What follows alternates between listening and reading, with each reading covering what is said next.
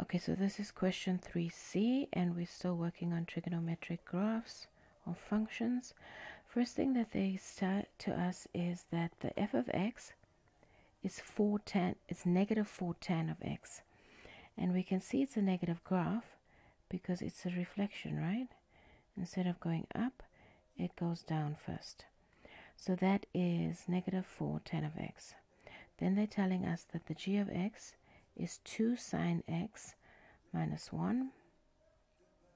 So we know that amplitude is 2 and our graph shifts vertically negative 1, so one step down. Next up we have a statement that says that um, it is for the period x is 0, which is over here, to 360 degrees, which is where they both end. Okay, now they're saying C and 150 degrees are the intercepts of G. G cuts, let's see that, G cuts the x-intercept here at C and at 150 degrees. Those are the intercepts. Next thing they tell us, D is the turning point for G, that's over here, it's the turning point. The graph of f and g intersect at 9,54 degrees and 204,62 degrees.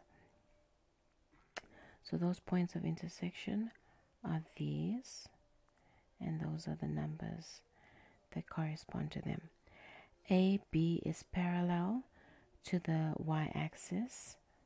So AB is this line here, and it is parallel to the y-axis.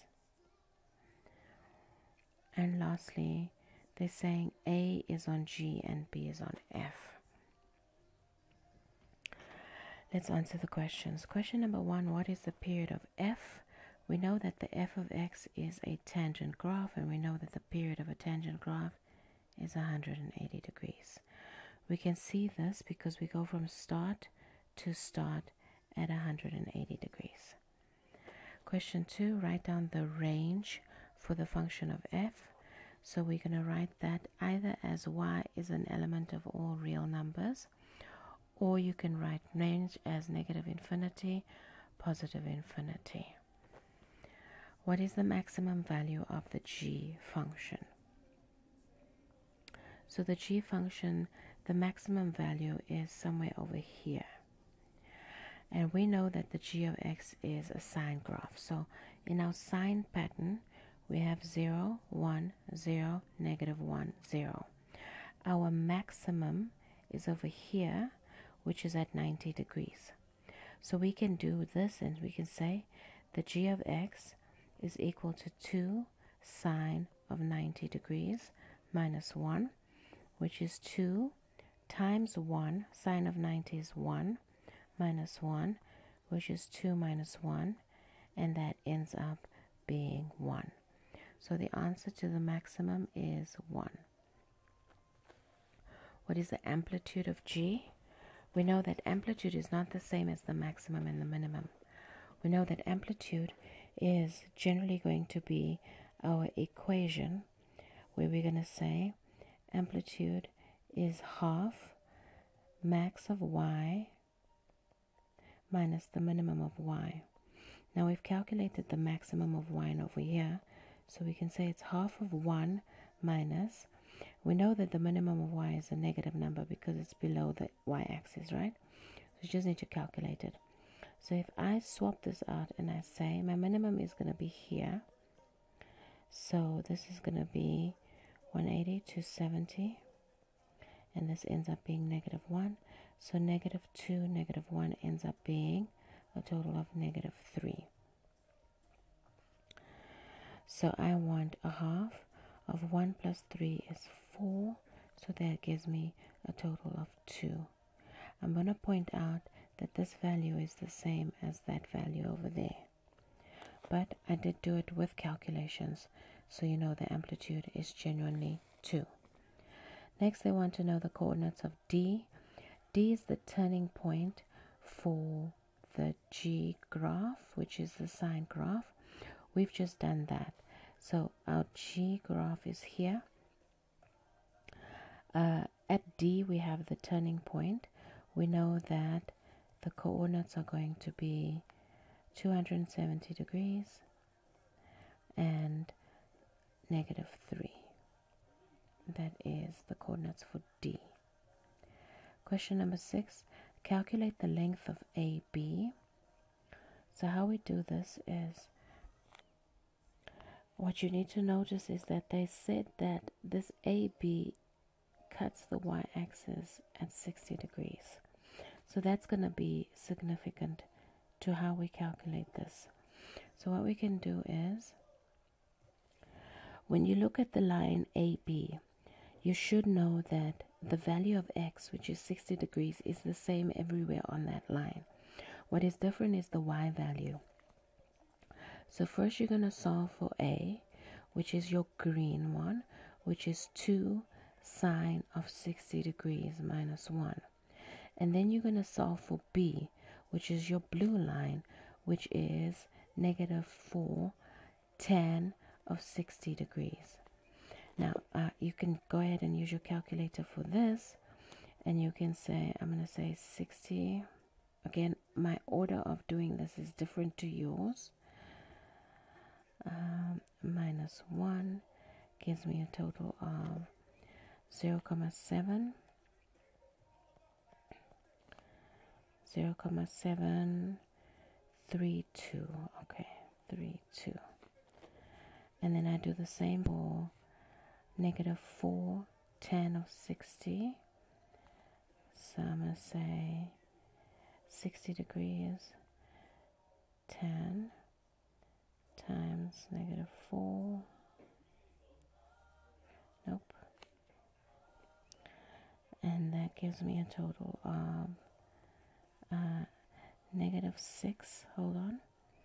Negative 6.9282. Negative 6.9282. Double check. Negative 6.9282. So the distance, remember that the distance cannot be negative. So we use absolute values here.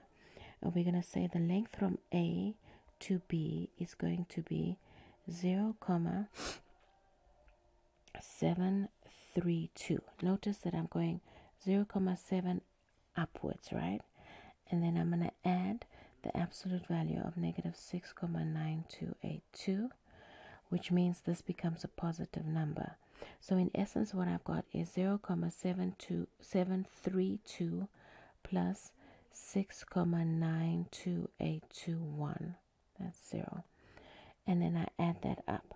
So that's 5 digits 1, 2, 2 carry 1, 6, 16, and 7.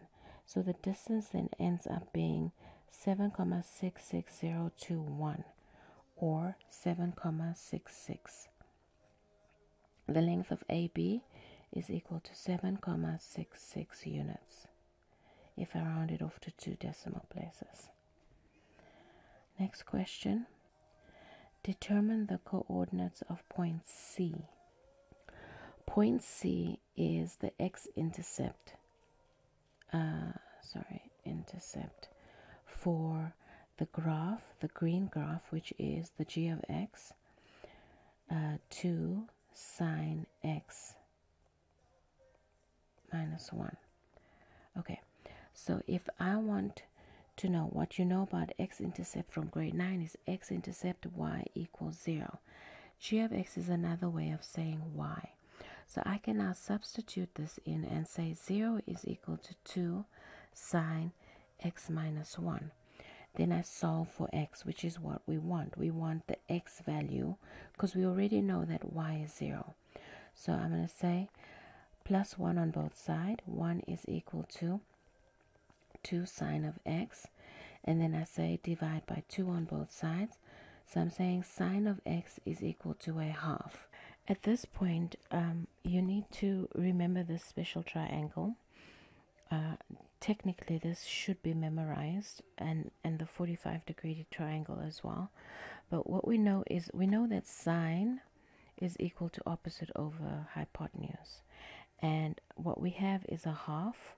So we have 1 over 2, which means that the angle that we are referring to is 30 degrees.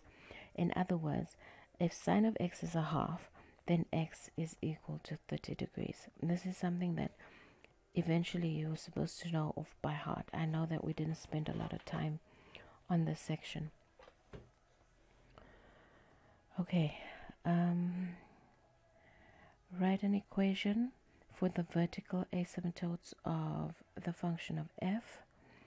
So you know, um, you know that an asymptote is a line that your graph tends towards but never touches.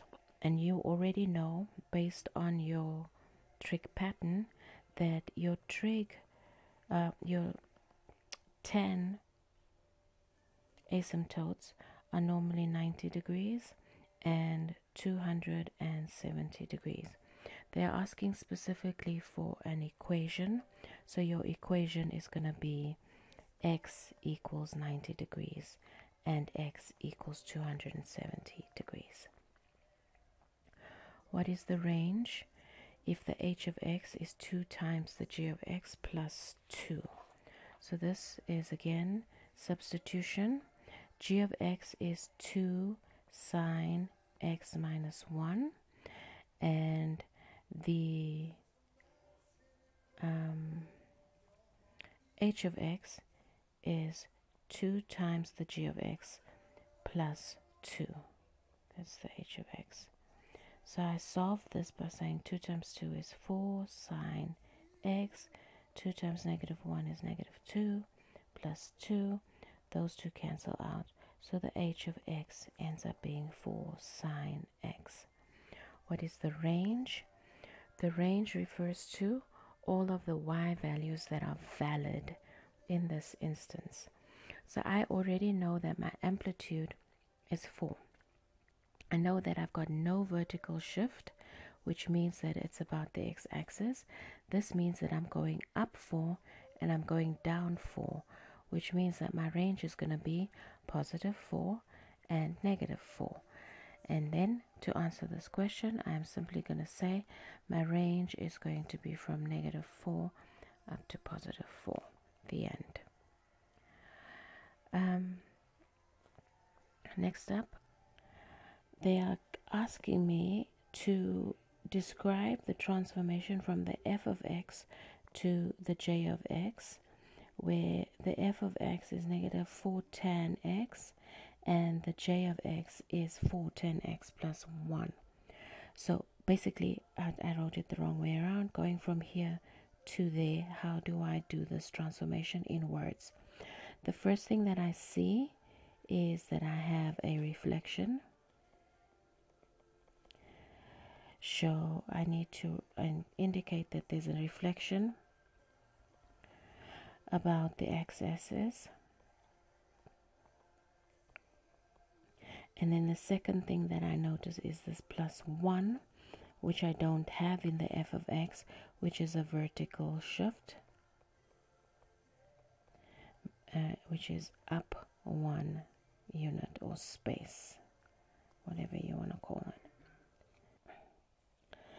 Now, the remaining questions I would rather do with you in person in class.